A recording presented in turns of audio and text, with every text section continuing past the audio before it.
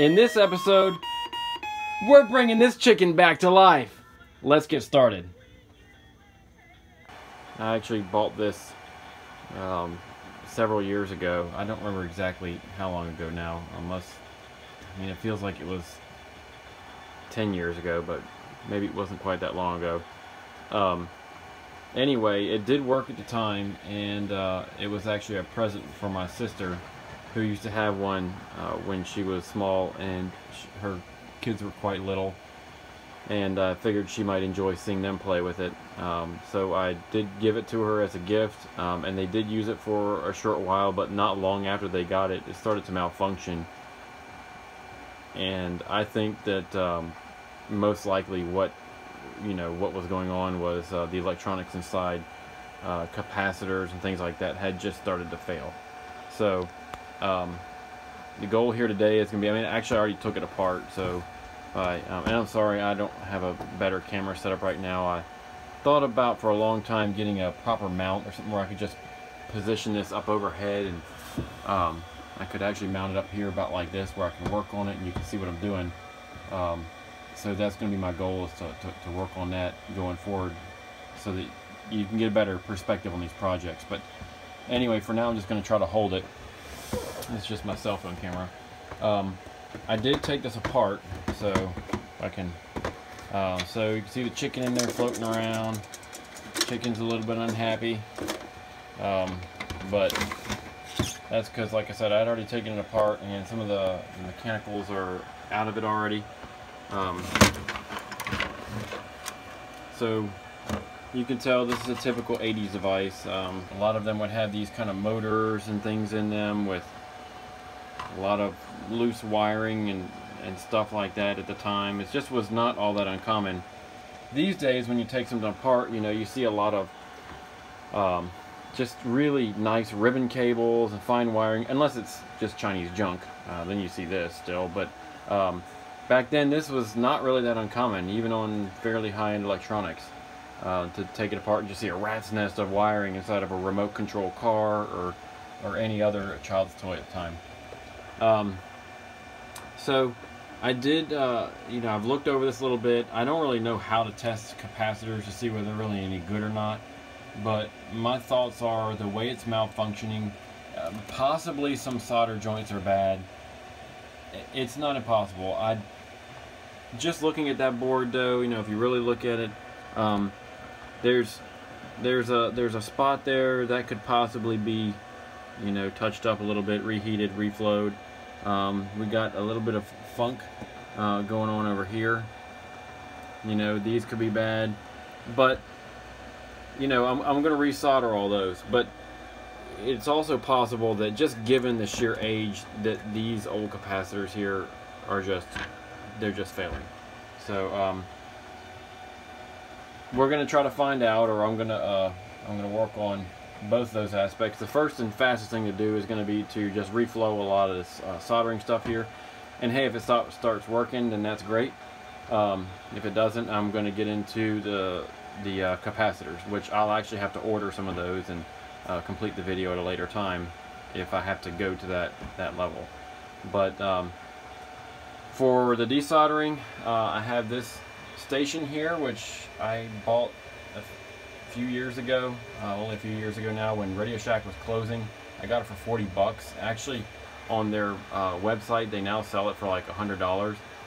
Yeah, if you don't know what Radio Shack is still in business in name uh, only, but uh, there is a website, Radio Shack. They still do sell this piece of equipment, and it is about $100. I think at the time they sold new in the store for about 70 and when they were closing I got it for 40 I'd always wanted a decent soldering iron and all I ever had was little cheap you know ten dollar three to ten dollar uh, little things that take forever to heat up and they don't work that well anyway this thing uh, you know I've never used a really high-end professional um, soldering iron but this thing has been amazing uh, for the few projects I've used it on just to, to flip it on have three presets to heat it up to what you want and just get in there and just solder things and be done with it has been absolutely amazing. Um, but anyway, uh, without much further ado, I'm going to go ahead and uh, get that out, get it heated up, and try to reflow these uh, these solder joints here that are quite old, and we'll we'll see how that works out. So, um, I wanted to also mention that when I took this apart, actually a long time ago, it's probably been uh, at least four years since I took this thing apart. Um, I did keep all the extra parts. Hopefully they're all still there. Uh, they're right there. So we've got a bunch of screws and this big gear and uh, gear mechanism or cam and uh, some other little things. I don't even remember how all this goes together, but I'm sure we can figure it out. Uh, for doing the soldering reflow, I've got this, which uh, apparently uh, my kids thought will be a good idea for me to have. Uh, I often have commented that Louis Rossmann always uses flux on, like tons of flux on everything he's resoldering, and you know, for all these years, I, you know, just goes to show you how little and what an amateur I am, but all these years I couldn't understand why you just can't reheat solder. Uh, it just it gets all dried out and stretches and stuff. And when I watched him use flux, and I was like, okay, that's how that works. You put flux on it, and that's what allows the solder to flow. I never really understood that before. Uh, so now I do, and I know that if I want to reflow solder, put some flux on there helps a lot. So I'll be using this. Uh, and this actually came from his website. Uh, I think it's store.rossmanngroup.com. Got it programmed in my head from watching so many of his repair videos. So yeah, this is going to come in, in handy.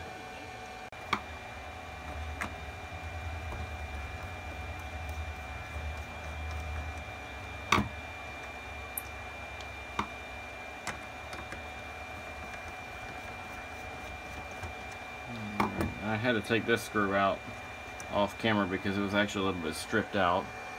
Um, so, and I'm doing this one-handed again because I don't have a proper camera mount. Alright, so here's our little cluster of boards. And if you're wondering about all this tape, yes, that is original. Um, it's like scotch tape. It, you know, now you see a lot of things right now these days that are hot glued. Well this, there's no hot glue. Scotch tape. that was the flavor of the day for building these components back then. Okay, what do we see here? Well, um, so I can get this to focus. we see these little things here. Don't know what they are. Maybe someone can explain to me what they are in the comments. Um, a little bit of corrosion there. You know, I see a little corrosion on a, a lot of these pieces here. I don't see any massive corrosion on this side. Um, if there's any corrosion to be concerned about, it's mostly on the other side. Um, so just explain a little bit about what it was doing, it was um, this thing is programmed to um, to play tic-tac-toe with you. So I guess I should have laid that out, you know, at the beginning of the video. It's, you know, the board there. Actually, you can play another game. It's like a Simon, basically, type thing, where you can, um, you know, follow the the lights that it lights up. So each one of these LEDs corresponds with a number up here and what would happen is uh, you can either play this as tic-tac-toe or to play a game of Simon where you know you just repeat the pattern. And that's selected by the uh, well there's I don't remember what selects it now. There was like a mode type thing where you could select which which mode you played it in. I, I don't remember where that is. I have to look at that later. But anyway so you know you have your off on the chicken. If you're playing tic-tac-toe that LED lights up right down there. Um, and uh, when the chicken's playing, that lights up, and whenever you're supposed to play, it lights up the other one.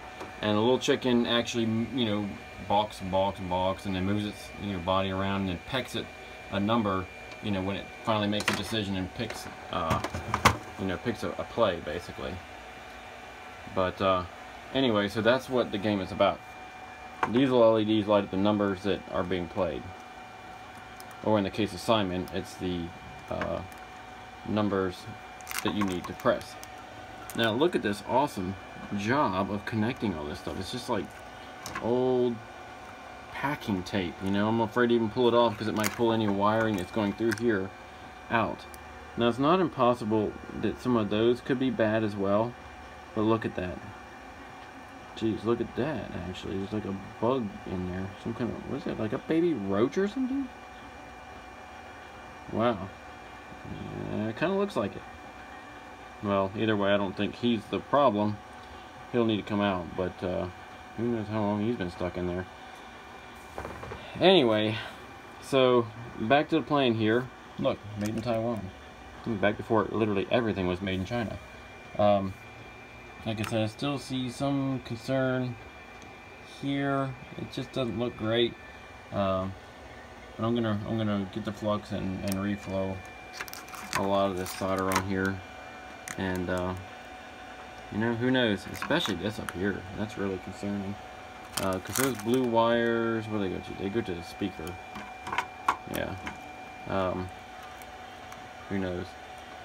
I mean, it could be a situation where that, you know, that, that thing's bad and who knows if it's uh, some kind of issue with current draw. I'm sure on this thing, between the motor and the speaker, those are the two highest draw um, items.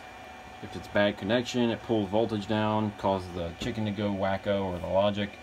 So, could be just about anything, but on these old electronics like this, it, it's kind of just a good idea to just reflow the solder on it anyway, because you'd be amazed if it's in generally good condition otherwise, how many times that alone will fix whatever kind of weird uh, problems you're having with these old toys. So, let me get to work on that. Okay, I'm going to try to capture uh, doing one of these. It's really difficult because I'm holding this with one hand. But uh, so you can see how this particular soldering iron works, especially with the uh, the flux. How I reflow this solder here. Just touch it on there. See that? It just cleans it up. Uh, it's good to this one here. I think I actually did this one already. Yeah, I did. Okay, and then we go to, go to this one here. See that? You just tell it gets a really nice shiny look to it. Um, it's kind of your indicator that it's been reflowed. Otherwise, it kind of has a tarnished yellowish uh, look. See that? Nice shiny. Alright, I'm going to go ahead and complete the rest of these. Okay, as I was going through this, um, I just completed reflowing all the uh, solder points on the backside of uh, that piece there. And then I said, well, let me let me scope this out again a little bit. Um, look real close at all this because you know these were kind of dubious to begin with, even from the factory. Um, in fact, one of the soldering joints was like this on the backside of that thing.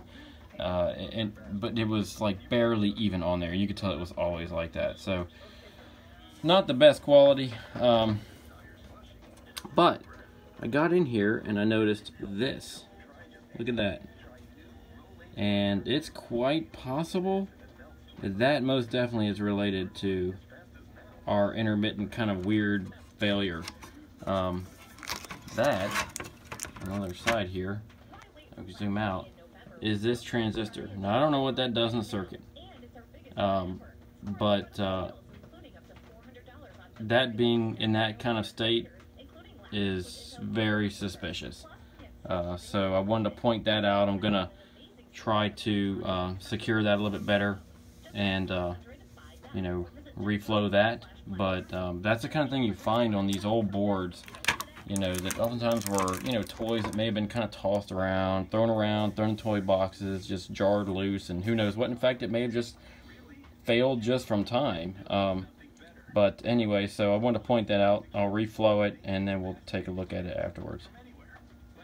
Yeah, so I'm not able to really keep that down as well as I'd like. Um, but I did, you know, take the transistor and push it back a little bit. And I reflowed all three of those to hopefully make sure they're making good contact either way. As long as it doesn't move around a whole lot at this point, it should probably be good. Uh, but, you know, we'll see. Time will tell. Uh, I think I'm going to pull that sticker off the back of this piece here with the uh, little visitor inside there and uh, check all those those solder joints as well.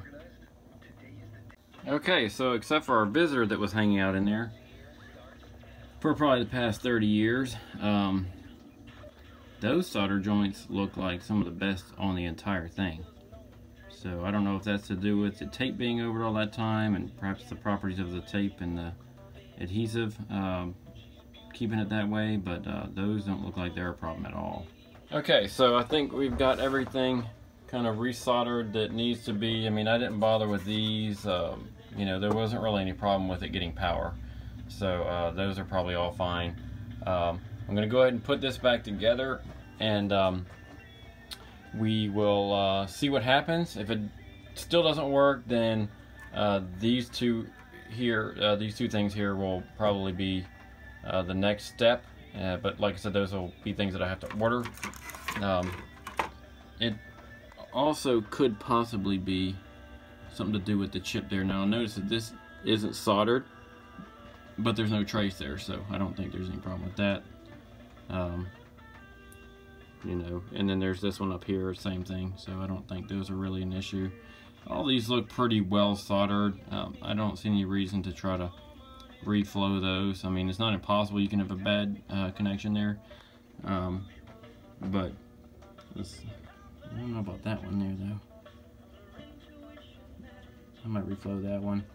But other than that, I'm going to go ahead and put it back together. We'll just see what happens.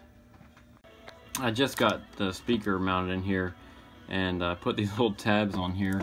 And I just I wanted to show that as I was putting this together.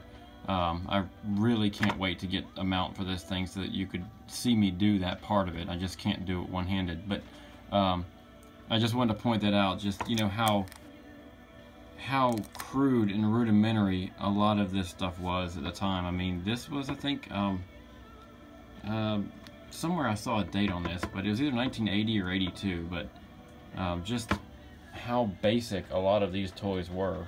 Um, and yet, you know, as kids at the time, I mean, I remember my sister playing with this. Um, I certainly played with it uh, also, and uh, we had a lot of fun with it, but just such basic, basic toys. I mean, this is stuff that you would maybe find the kind of quality of things that you would find in a uh, a dollar store these days for maybe 10 bucks or something. But I don't think this was that cheap. I think it was 30 or 40 dollars at the time. And it just kind of highlights how our expectations of the, the quality and the way things are made has changed over time. Okay, I just got the motor mounted. Um, that pretty much consists of just uh, screwing this down on top of the motor itself. Um,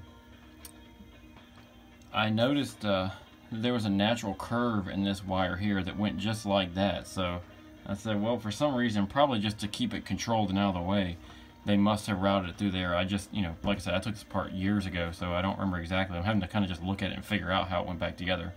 But it's a pretty simple mechanism, so I don't think it's really that difficult.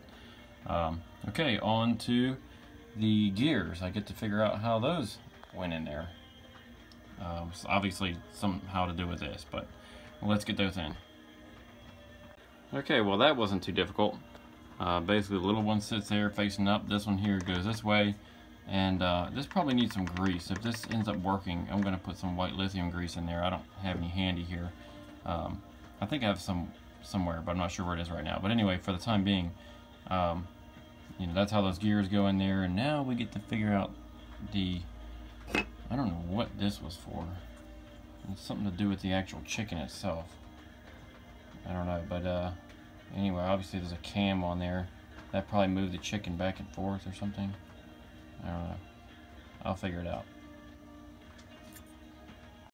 Okay, well, figured out what, what this is for. It goes on here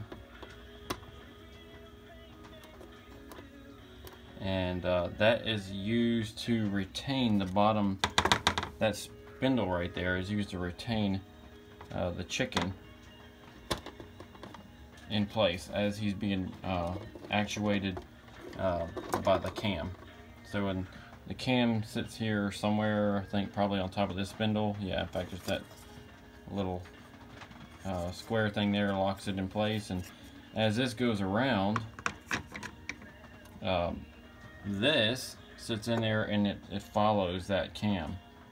So it's going up and down and stuff. And that's as it's doing that, it's causing the little chicken to to bounce up and down and move back and forth and stuff.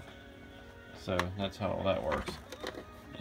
It's interesting to see how they would work out these little things. It's probably it's simple in one way, and yet at the same time, it's probably overly complicated. It could have probably could have done it a lot simpler. Um, I don't know how, but I'm sure that today, if someone wants to manufacture something like this, it would be an even simpler mechanism than that. But anyway, okay, so let's get this cam together and see if I can get those boards mounted. Okay, so I've gotten uh, all of uh, the screws into this board here. That seems to be mounted pretty well. And I just remembered this when I was putting this board in here. I started looking for, you know, where's this screwed down at? And then I remembered that um, it's not. Um, I completely forgotten. And whenever I took it apart, I was really surprised that the part that actually you press on, it would take the most pressure, um, doesn't get screwed down.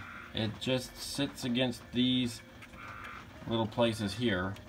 Um, and that's what these are for. They line up with that. And uh, that's that is the support for the for the keypad there. So um, I think that's pretty much just about it. Um, I say that, but I have one, two, three, four, five, six. No, that's right. There's six screws on the bottom. So um, I was gonna say I thought I had an extra screw there. I'm like I don't really know where it will go because everything is mounted now. So, but anyway, I don't. And I'm going to go ahead and leave this like this for now. I'm going to go grab some C batteries, I believe. Um, maybe D's. I need to check that. What What is actually in here? I think those are actually D's. Yeah, those are D's.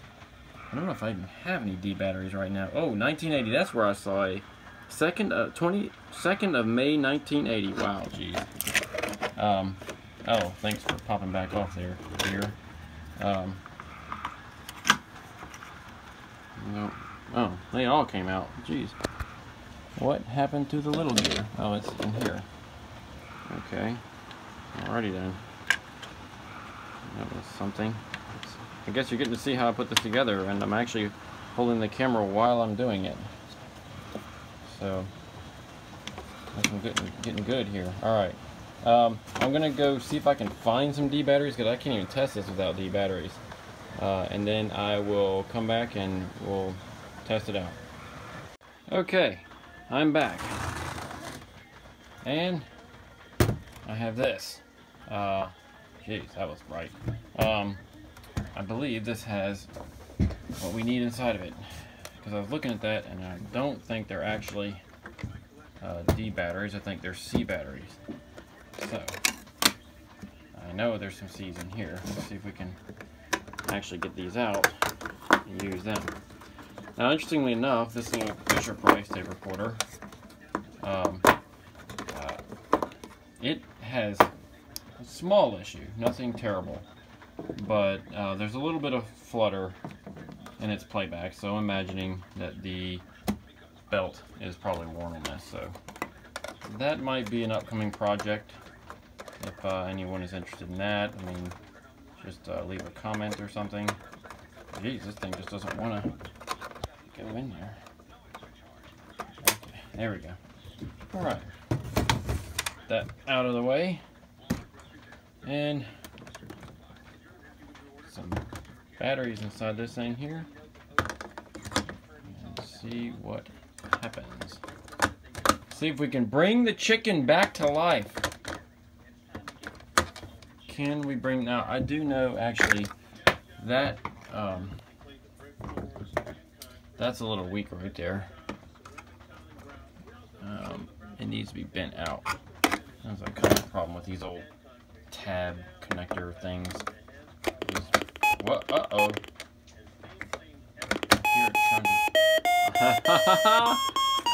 that sounds good well sounds like I also left the switch on now this originally had some kind of a little pad inside of it.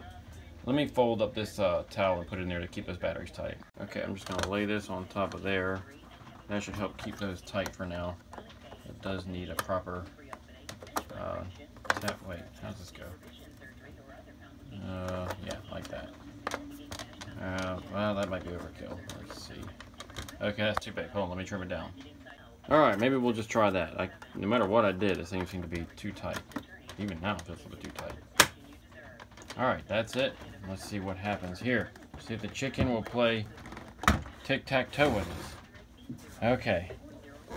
So, um, that's right. Okay, to switch between the two different modes, you just pressed one or two. And one was the tic-tac-toe mode. And I don't know if you can really see those LEDs. They're, of course, they look like they're flickering, but they're not really. That's only on the camera. Um, but this is, uh, we want to play tic-tac-toe. Okay, see. Oh, there he goes. Ah, he's pecking around. Or she, technically, I guess. Okay. Go ahead and make a move, chicken. Okay, the chicken has chosen seven. Now, interestingly enough, I don't remember what the pattern was, but I have a very old video on YouTube of where I discovered that there was a specific pattern where you would always beat this chicken, but I don't remember what it is. So I'm just gonna, I'm just gonna play. Let's say, okay. I don't know what my strategy is here. I don't never claim to be a great tic-tac-toe player. Okay. Chicken has chosen to go there. I'm sure this chicken's gonna beat me. Okay. Yeah. Chicken's going to go on six, otherwise I would win. See, the chicken's smart. Believe it or not, even in 1980, a chicken could be quite smart. Okay. I don't know that chickens have progressed much since Beyond then. Um, I don't really know. I don't think I can win at this point. I think no matter what I choose, it's gonna because if I go nine, it's probably gonna pick three or something. I don't know. Let's just pick. Let's just pick nine because no matter what, it's gonna win. Oh. Okay. Where? Okay, it did pick three, exactly like what I thought. Okay, well, obviously, I'm not gonna let you win with that one chicken, but you'll probably win some other way that I don't really see right now. Okay. Chicken, what are you doing? Oh, okay. Chicken is saying nobody won. That's what Chicken's saying. So, I defeated you, Chicken, not only electronically, but in actual gameplay. I think that's going to be a wrap for this episode of uh, Hak 1985. I think that was a success because before the chicken would not play. The chicken just had weird flashing lights all over the place and would uh, occasionally just cluck and wig out. I mean, basically made no sense. So, um, I think we have an operational chicken here again. I'm really excited about this. This has taken me, golly, I mean, years and years to get around to this project. So, I'm pretty excited about this. I'll probably get it all boxed back up again and send it back out to my sister if she wants it still. I mean, her kids are basically grown now, or at least they're much older. So, we'll see. Um, if you guys like this, uh, then subscribe and uh, like the video. And if you'd like to see more of these types of things, please let me know. If you're not, if you don't want to see these kinds of things, well, too bad, because this is probably what I'm going to make anyway. But I'll put more effort into it if you do enjoy, uh, like, you know, if you enjoy these types of things. So, um, there could be many more to come. I mean, I've got this thing sitting over here. Uh, I don't know. That may never work, to be honest with you. I'll have to find a different controller to even try to make that work. But it needs a lot of help. Um, and that has got some problems with the volume. I mean, I've got I've got things like this all around me every day. So it's just a matter of uh, whether I do it, you know, when I eventually get around to it, or if you guys are interested, then I'll actually probably move on it quicker, just because it's kind of cool to to see people respond to uh, these different projects. So anyway, have a great day. Until then, keep hacking like it's 1985. Yeah.